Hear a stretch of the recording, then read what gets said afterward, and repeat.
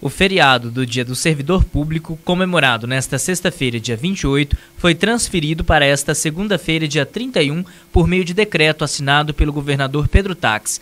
O decreto estabelece ainda que a terça-feira, dia 1, véspera do feriado de finados, celebrado no dia 2, será ponto facultativo. Com isso, o estado de Mato Grosso terá um feriado prolongado de três dias.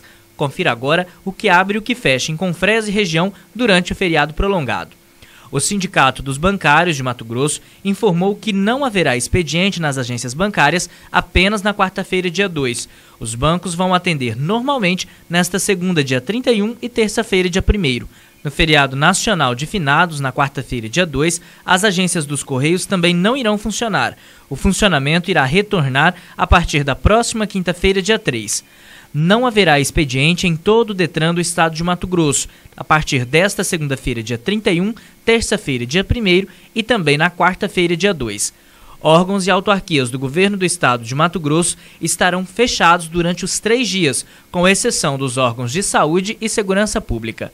Já o comércio abre normalmente nesta segunda e terça-feira.